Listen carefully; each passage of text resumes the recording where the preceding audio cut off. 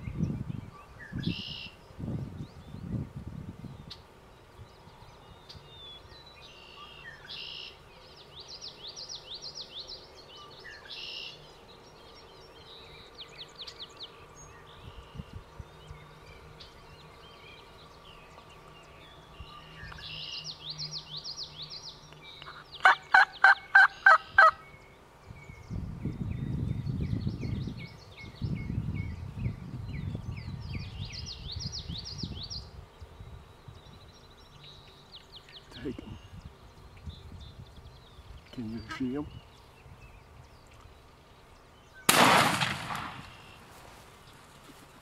think you got him. Yep.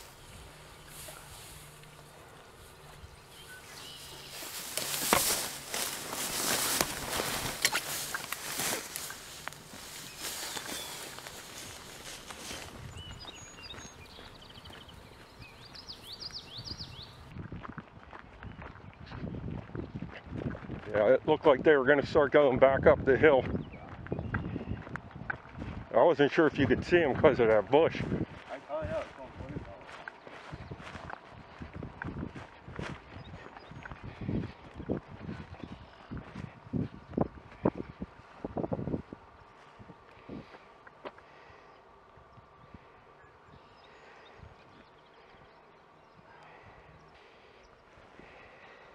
So you got a good beard?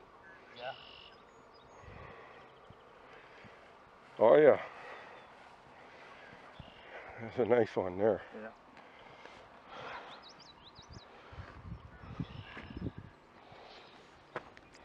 See the spurs on him. Not too bad. Yeah, he's got some pretty good spurs. Nice for the first bird you ever, Yeah. turkey you ever took there. That gun popped right out of my hand. You see it came right out of my. It popped off. What? The, the, the gun. Ah, I think it kicked hard. oh yeah, that gun kicked. Three and a half inch single shot.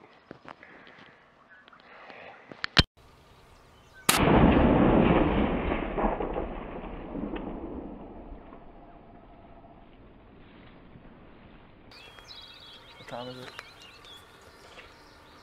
Uh, 945.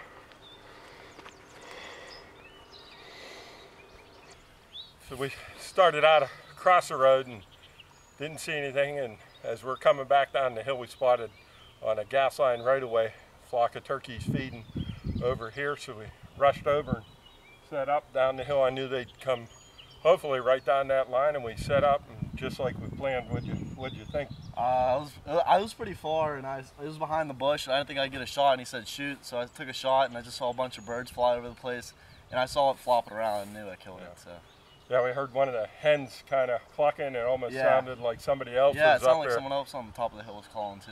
But it was just the hens they were with. Looked like a couple hens, uh, Jake and, and this nice Tom here. Yeah, And uh, come down just like we planned it. Don't always work that way. yeah, But uh, today it sure sure worked out and got its first bird. yeah, pretty nice.